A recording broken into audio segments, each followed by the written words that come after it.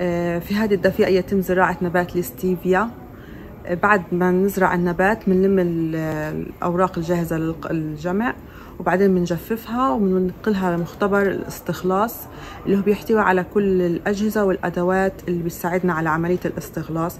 أول إشي بنبدأ بجهاز ال Soxhlet اللي هو بيعمل على استخلاص المادة الفعالة من نبات الستيفيا اسمها مادة ال stevioside هذه المادة تقدر حلاوتها ب 300 مرة أكثر من السكر العادي. بتتميز المادة هذه بأنها آه، لما بترفع نسبة السكر في الدم غير مغذية للخلايا السرطانية مضادة للأكسدة آه، آمنة لمرضى السكر ولها مزايا ومفيدة يعني بشكل عام. آه، بعد هيك إحنا بننقلها لجهاز الفلترة.